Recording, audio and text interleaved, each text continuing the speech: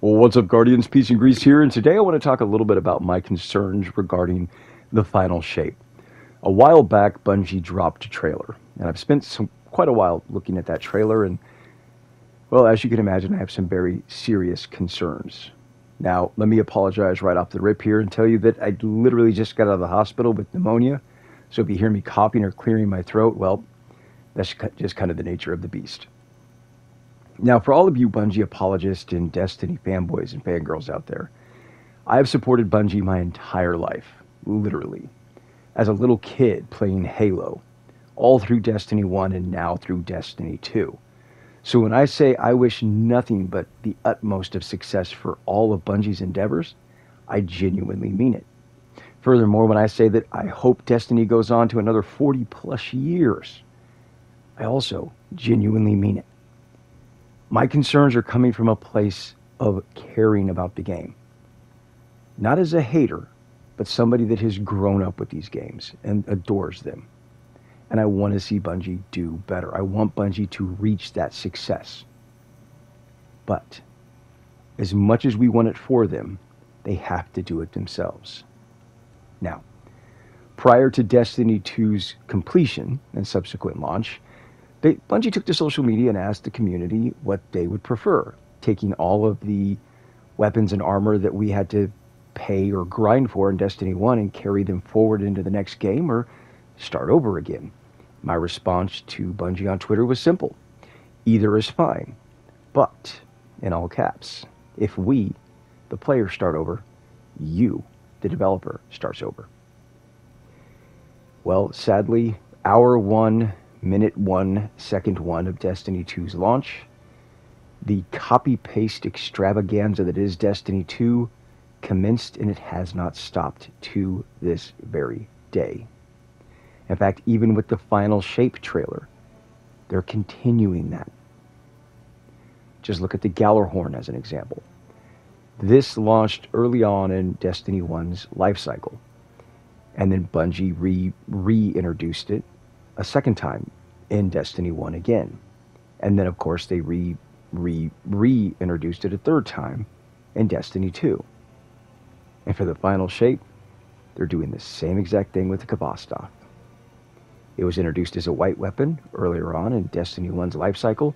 Then, of course, they made it an exotic. And now they want to re, re, reintroduce the Khvostov a third time in Destiny 2. And, of course, the Red Death as well. The fact of the matter is that this type of stuff doesn't get me excited. This copy paste stuff doesn't get me hyped. In fact, it has the adverse effect of pissing me off because a percentage of my money when I buy these expansions goes towards those weapons and armor or those raids that I've already done. And nobody likes feeling like they're paying for the same things over and over and over again. Now, I always have some knucklehead out there that wants to tell me that you're not actually paying for these things. Chief, just because somebody says that something is free doesn't mean that it actually is. I can tell you that I'm selling a set of floor mats for $10,000, and if you buy them, you get the car for free. But are you actually getting the car for free, sport? No. This is an old sales strategy that has been around since before I've even been born.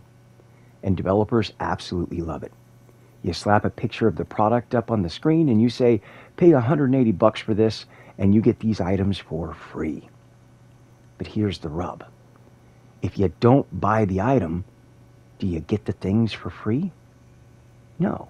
So then how do you get all of those items for free?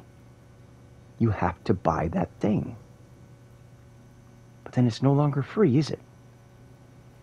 That's the rub. So, unfortunately, just because somebody says something is free doesn't mean that it is. And while I'm certainly not sitting here saying that all of my money goes towards paying for that reused copy paste raid or those copy paste supers or subclasses or those copy paste exotics or weapons or armor, I am saying that a small percentage of it does. And that adds up over time.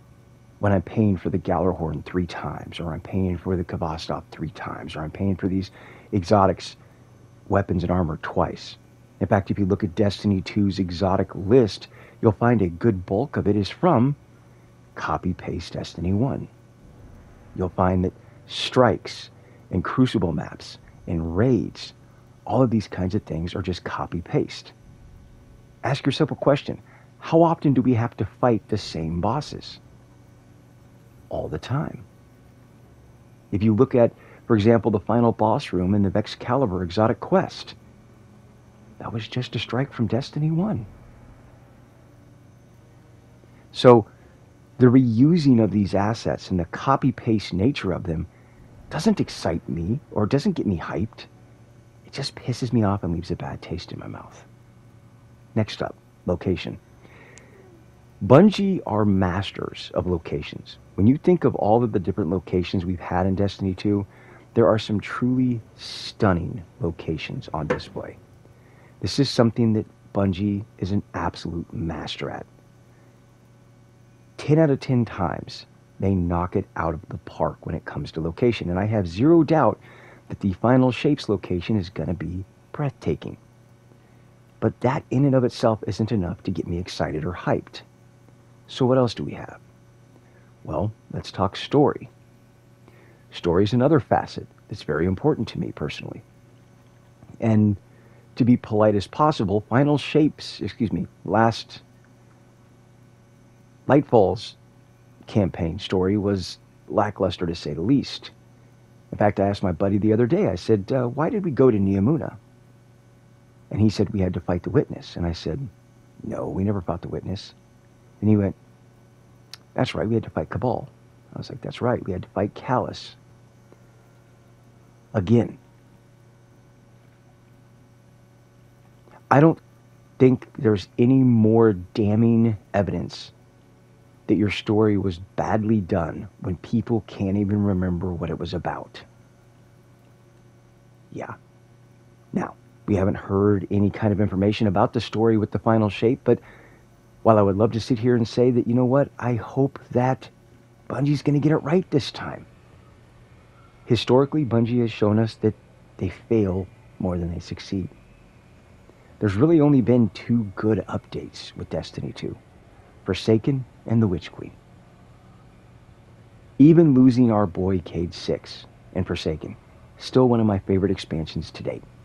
Second place is the Witch Queen. All other expansions are bottom tier, awful writing in regards to story. So historically, Bungie fails more than they succeed. So I will apologize if I don't just give you blind faith any longer on this. Now, we get into the next topic. Some of you may remember back with Lightfall. I made a video about the Strand Titan Super and how it's copy paste. And I showed you all the ways that it was copy paste and said how concerned I was about it. Bungie's response was simple. And to boil it down, they basically said, no, it's not. Yeah, that's essentially what they said.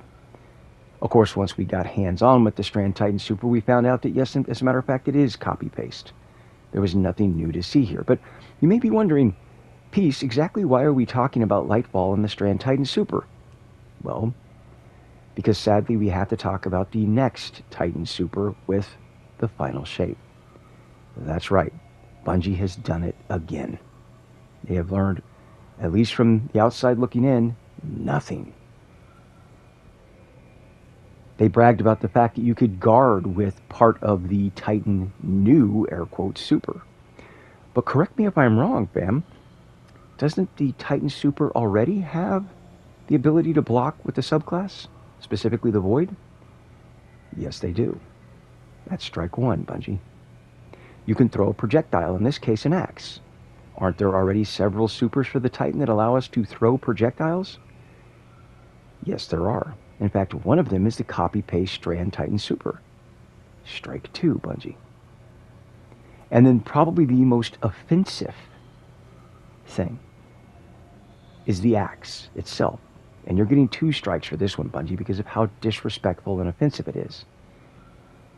If you weren't around for the final expansion for Destiny 1, The Rise of Iron, you may not be privy to this information, so let me explain it. Similar to a Hive Knight sword in Destiny 2, and it was in Destiny 1 as well. If you kill a Hive Knight, they drop a sword. You can pick up said sword and use it until you run out of ammo.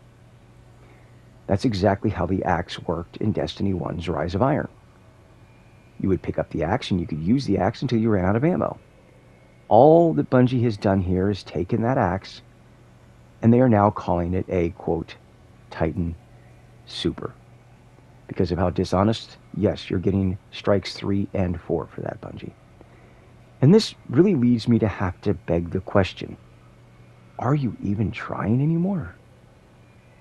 All these years I've supported you. All these years I've bought every expansion for every game. But people don't give you money unless they see value in your product. And I gotta be honest, Bungie, I'm not seeing the value in your product at this point. Now, if you really want my true opinion, I personally think that Bungie has a fear of innovating because they have a fear of failing. Failure can be your best teacher if you let it. Take, for example, mods. Bungie got it from Warframe. Take, for example, fishing. Bungie got it from Warframe. Take, for example, Guardian rank. Bungie got it from Warframe. But none of those lessons were learned by you, Bungie. They were learned by the developer that did it, DE, but not you.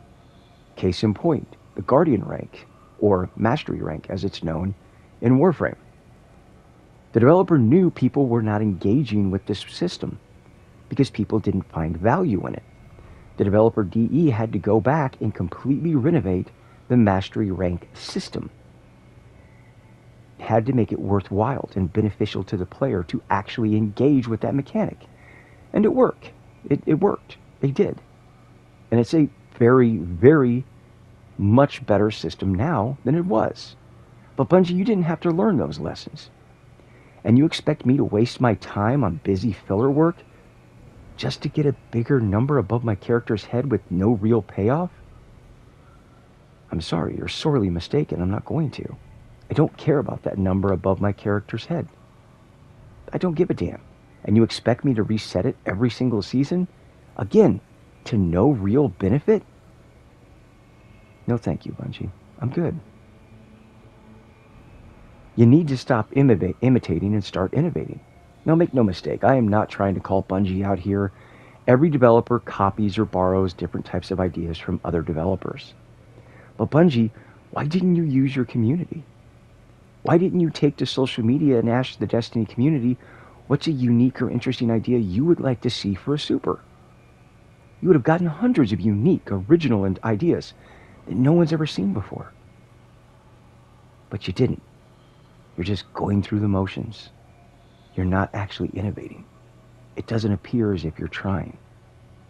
Well, bad news for you is I have not bought the final shape, nor am I going to, until I see some real honest effort on your part. We've given you long enough now, at this point, that it is not unrealistic to expect some improvements. But so far, we're not getting those improvements. So, let me know what you think down in the comment section below. Am I wrong? Or am I right? And until next time, peace out.